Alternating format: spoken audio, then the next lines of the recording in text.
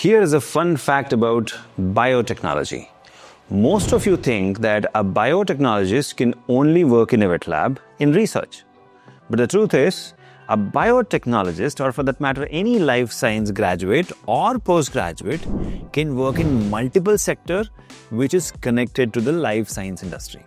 And this particular small detail is overlooked by many of you because your curriculum is designed in such a way which encourages research, which is all about research, and the curriculum is designed keeping in mind that India needed more scientists. But that curriculum was designed 25, 30 years ago. Today, India needs more than scientists. India needs better clinical research professionals. And that is why this video. Now, recently, two of my uh, students just last week have got placed in a clinical research company called Niramai, and uh, here is their video. Hi, my name is Sneha Bhagat and I'm from Mumbai. I found the opening for clinical research coordinator on, uh, at Niramai's Health Analytics on uh, Biotecnika's portal. I applied directly, got shortlisted, and started preferring right up. Today, I'm happy to share that I'm uh, I'll be working as a clinical research coordinator at Niramai Health Analytics and that is also with the support of Biotecnika. To Biotecnika, thank you for being part of my journey. Hi, my name is Kunika Shah. I'm really excited to share how Biotecnika played a key role in helping me land my current job at Niramai Health Analytics as a clinical research coordinator. I was starting to feel lost and unsure about my next steps. That's when I came across Biotecnika's placement support their team guided me and shared job openings I wouldn't have found on my own. I finally got shortlisted for an interview, and with their help, I cleared it. Today, I have an offer letter from Niramai Health Analytics in a role I really enjoy. Thank you so much to the entire team of Biotecnika. And in this video, like you have seen already, they have got the job as a clinical research associate. Now, since they got a job as a clinical research associate, they came to me asking, uh, What is a career ladder? How will my career grow? And how this market of clinical research will grow. So I thought, why not create a clinical research career ladder for beginners? Okay, beginners career research ladder. Okay, clinical research ladder, right? So this is that video. Now, let me start by talking about the market. So as of today, so in 2024, the clinical research market was US dollar 60.94 billion and this is as per Fortune Business Insights and it is projected to grow to 104 billion dollars by 2032 which is a CAGR of 6.8%. Now, by 2030, we are expecting that the entire clinical research market will be somewhere around $125 billion. And the key drivers for this growth will be AI, bioinformatics, chronic disease prevalence, new drugs into the market thanks to AI, growth in oncology research, phase 3 trials by AI driven research, drug discovery, and adoption of decentralized and hybrid trial models. And that means a lot of money can be made in the clinical research market. And that means a lot of companies are going to jump into the clinical research domain. Already, India has more than 3,000 registered clinical research companies, right? One of the companies is BioAgile. A very good friend of mine, uh, Mrs. Divya, is running it, and she keeps telling me that how easy it is, how fast this is growing. So now we'll come to the Indian market. So 2024 market valuation of India right now, it in 2025 it is 1.42 billion dollars, and by 2030 it is going to grow to 10 billion dollars. So the entire global research, global clinical research market is 125 billion dollars by 2030. India will be at 10 billion dollars, and that means a lot of growth is yet to happen. So this market now is growing at a 8% globe, uh, you know, uh, CAGR and India is actually accounting for more than 8.5% of the global clinical trials. And why is that? Because India has a diverse population. Each state of India is itself a country in itself, right? So And China right now is at 29%. So 29% of the clinical trials are happening in China, 8% in India. But now the Western uh, countries and companies have realized that India has got a better diverse population. It is easy and the regulations are easier. So that is where most of the clinical trials are going to shift from US to India. Right now in US, 25% of the clinical trials are happening and all of that is going to shift. Now, industry experts are stressing on the acceleration of uh, regulatory timelines, the AI in drug discovery, and the patient recruitment ease in India, which is going to boost the clinical research market. And that means it is about 5,000 crores uh, PRIP scheme, which is happening uh, recently, and that is catalyzing the pharma and medtech innovation, and which is attracting more than 17,000 crores of R&D spend by 2025. Now, the growth advantages here uh, for a clinical research company is huge. You have large diverse population, 50% lower trial costs than Western countries, and streamlined regulations via the NDCT rules, and of course, strong digital workforce and infrastructure support. And that means India will need a lot of clinical research associates in the future. But now the question is okay, this market is growing, how I will grow in this growing market, right?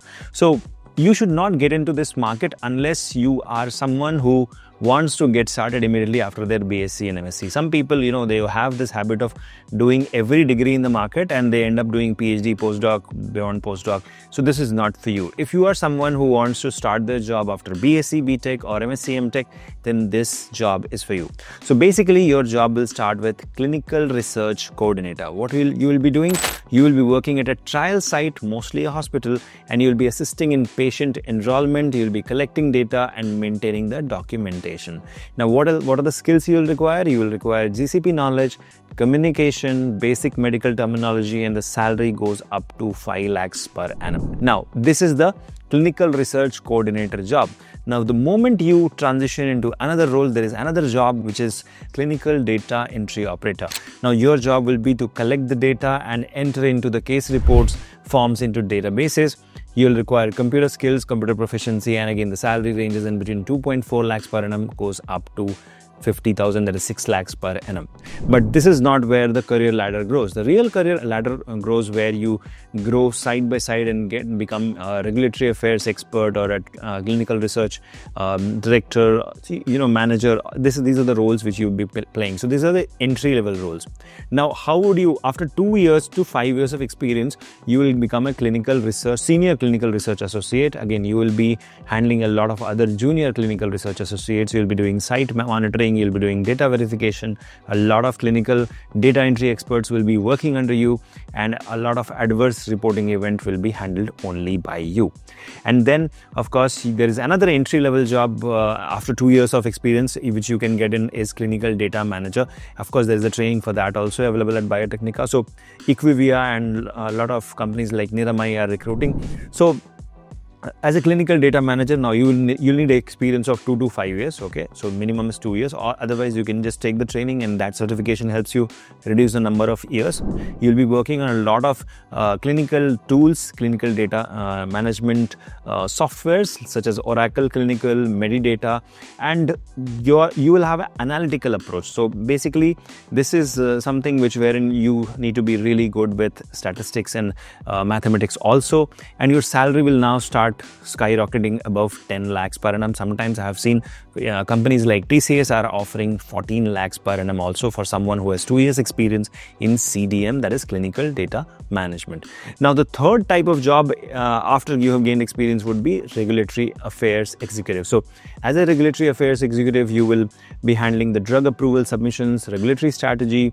The salary will range between 6 lakhs to 10 lakhs, and you need to know CDSCO, FDA, EMA familiarity, documentation guidelines, licensing with agencies, and all of that. So, that is regulatory affairs executive. Again, this is all in the clinical research universe uh, either you enter as a clinical research associate or you enter as a clinical data management or you enter as a regulatory affairs. And initially you will be at a junior level. You will earn salary in between 3.6 lakhs per annum to 6 lakhs per annum. But after 2 years it starts going from 6 lakhs to 10 14 lakhs also. Now the best jobs which i have seen is clinical research as well as cdm now, there is also a type of job which I have seen which uh, happens uh, most of the time that is called as a medical writer. So, you'll be creating protocols, um, clinical study reports you'll be writing, you'll be uh, involved in publications, and you need a lot of handholding with scientific writing, literature review, and data interpretation. If you have all this knowledge and you have experience of two years plus, you can start commanding 8 lakhs to 14 lakhs per annum as a medical writer. Uh, my friend Divya says that a lot of students um, who are ignoring medical writing will regret later because they think that clinical research means only clinical research associate. That's not true. There are four types of jobs. Medical writer is one of the highest paying jobs. And with the advent of AI, medical writing is now transforming, and that is where more people are required who will actually go ahead and use AI in medical writing, and you can be the one. Now, for all these um, four, we have training programs available and internships available as well as projects available. Now, what exactly I mean by that? So, we have a training program for clinical research and then regulatory affairs, and then we have pharmacovigilance also available, which also is a part of clinical research uh, domain. So, yeah, even that is happening. Assuming that you have done the uh, junior, now you are at the mid level. Now, how would you transition to the senior level? Because not everybody will, uh, you know, transition to a senior level, and that is where climbing the corporate ladder comes into picture. You have to be smart. You have to take leadership roles while you are still in the mid level, and that is where you will get noticed by the senior level. So, as company will expand, they will hire you for a senior level because new uh, clinical trials will come, new sites will open, and now the middle management will become senior management. That is where you'll become a senior clinical research associate or a lead CRA. So, what you will be doing, you will be mentoring the juniors, you will be handling multiple sites, maybe 10 or 15 or you know 50, 60 hospitals.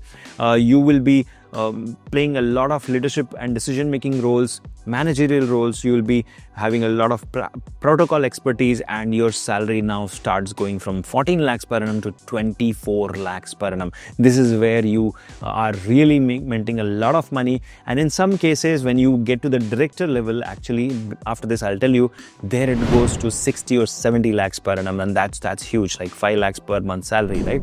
So, clinical project manager will be another uh, job which you will get at the senior level. So again, this is a um, progression of the clinical data management role. So you will be doing end-to-end management of clinical trials. You will be taking care of the timelines, the budget, the teams.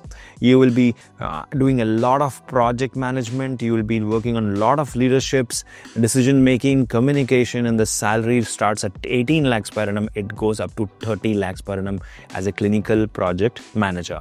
After that, now there will be something which, like I said, regulatory affairs executive you started. Now you are a regulatory affairs senior manager.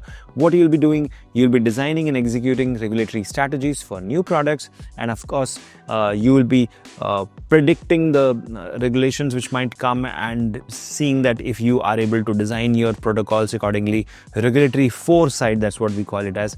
Global submission strategies will be there, which you will be designing, and the salary again starts at 18 lakhs per annum. It goes up to 30 lakhs per annum for a regulatory affairs senior manager. Another role which you, you can play at a senior level will be clinical operations senior manager.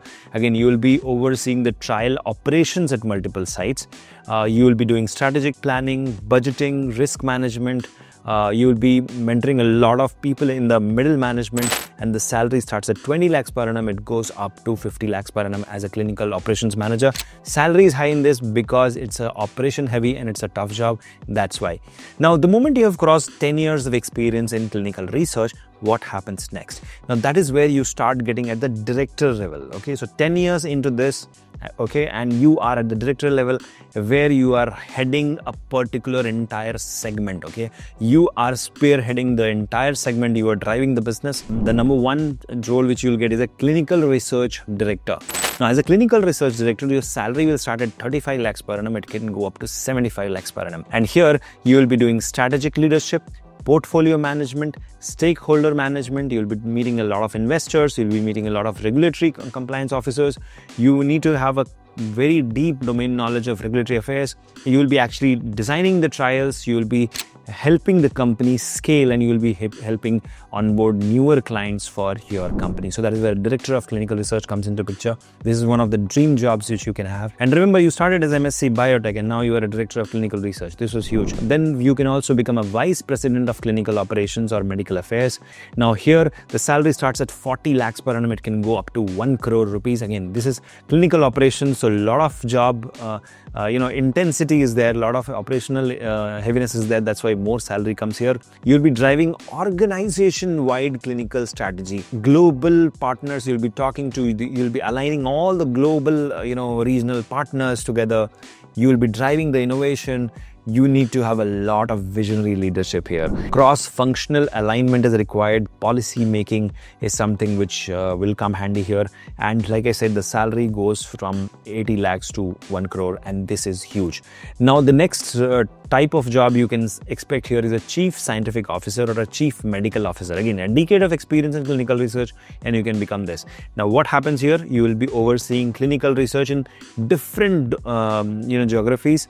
Uh, you'll be driving the medical strategy, R&D strategy. You will be liaising with the regulators, investors. You will develop a lot of leadership skills over a period of time, and you can become this. The salary now goes from 75 lakhs per annum to 1.5 crores per annum, and this is again one of the most sought after jobs which you can have, and it just takes 10 years. Imagine in 10 years, you start from zero and you can be earning 1.5 crores.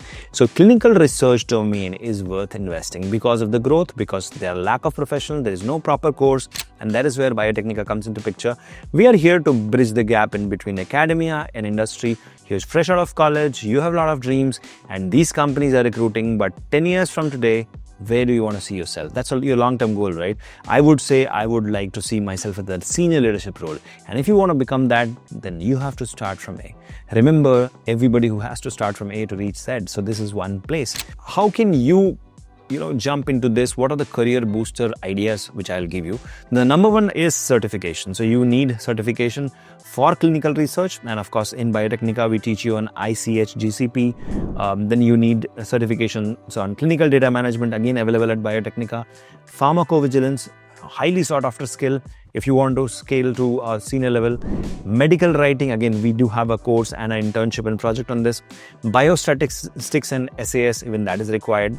Now, on the top of it, you have to do a lot of communication training and leadership training, project management training, and technical writing. And all of that I personally train to all the students who are enrolled in Biotecnika through our mock interview sessions, how to answer what question during the interviews, and a lot more happens in Biotecnika. So the bottom line now is you have to start somewhere and if clinical research is something which excites you if drug um, you know regulatory affairs and compliance and all of that and you want a fixed job with a good work life balance then this is the place to get started. And you can also enroll in our clinical research projects, work with us, and we will help you get placed. So thank you so much for watching this video. I hope this beginner's guide to clinical research career ladder helped you. Let me know in the comment section what kind of questions you have. And don't forget to check the link in the description and the comment section, which has all the details about how to get started in clinical research. All the best.